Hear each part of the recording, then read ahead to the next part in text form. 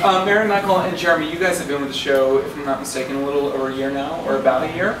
Um, this show is obviously very high tech.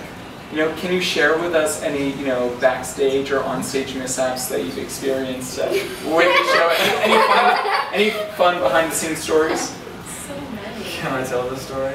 Yeah, I don't know which one you're talking about. so yes. Mary Michael stabbed me in the eye. Oh my god. That's a mishap.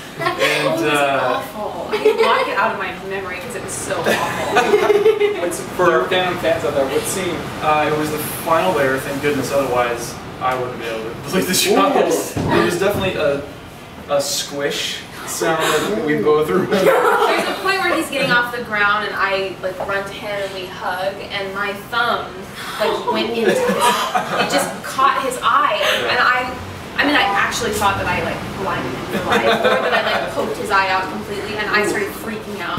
Because also there, that was a show where everything got backed up because you didn't jump or you jumped and you weren't supposed to or something Yeah, the happened. boat died. So the whole like oh, the Yeah. whole like last ten minutes of the show was just chaos, and I was Yeah. already kind of like, oh my god, what's going on? And then I, you know, scratched his cornea. We found out, and so the rest of the show, I basically like led him around. I around. was wandering around He couldn't aimlessly. see everything going. And I still feel like the worst person. I can't believe I forgot.